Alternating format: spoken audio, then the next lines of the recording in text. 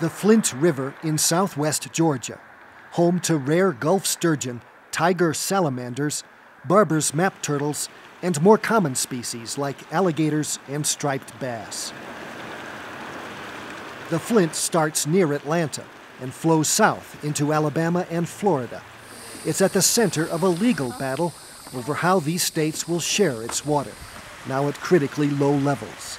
We need to be looking after our river. There's nobody doing that now. Georgia's farmers water their cotton and peanut fields with center pivot irrigation systems. From the air, they look like giant circles.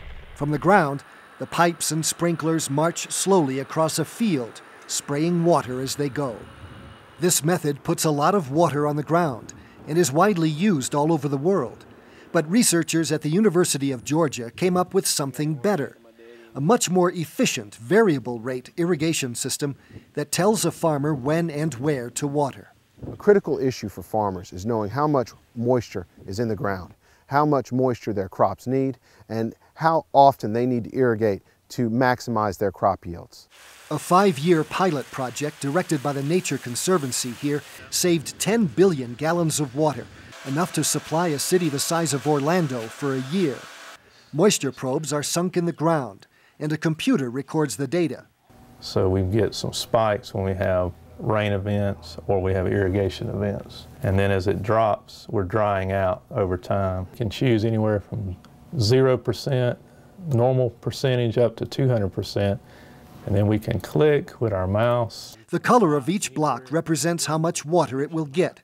A 40 acre field has about 900 blocks, and each could have its own set of watering instructions. When the farmer comes to his field, he inserts a flashcard with instructions to run the motors, pumps, and nozzles of his irrigation equipment. Wet land gets less water, drier ground gets more. Conservation land for quail habitat doesn't get any at all. Using the variable rate irrigation in the computer models, when we make one circle around this field, we save 600,000 gallons of water every time we go around.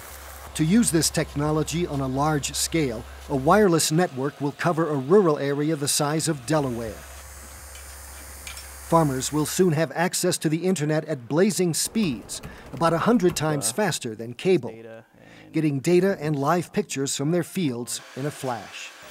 It saves on water, it saves on energy. They have the ability to log in with that camera and see, you know, 150 miles of fields without ever leaving the house.